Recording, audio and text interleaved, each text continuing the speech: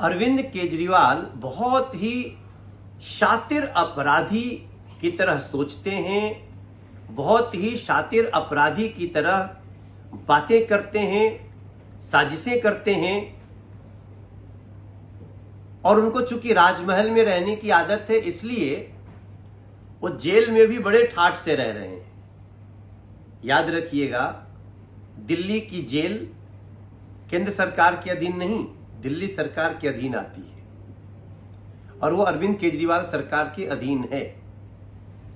आज कोर्ट में ये साबित हो गया है कि अरविंद केजरीवाल जी जानबूझकर डायबिटिक पेशेंट होने के बावजूद मीठा खा रहे हैं। उनके घर से चल के जेल में आलू की पूरी आ रही है, आम आ रहा है। ये सारे वो खाना है जो डायबिटिक पेशेंट का वज़न बढ़ाता है। और ये वो इसलिए कर रहे हैं कि इसका बहाना लेके वो बेल के लिए अप्लाई करें, स्वास्थ्य के आधार पर। और ऐसा वो इसलिए कर रहे हैं कि इसका बहाना लेकर अपने बेल को पाने की कोशिश करें, कोर्ट को बेल अप्लाई करें।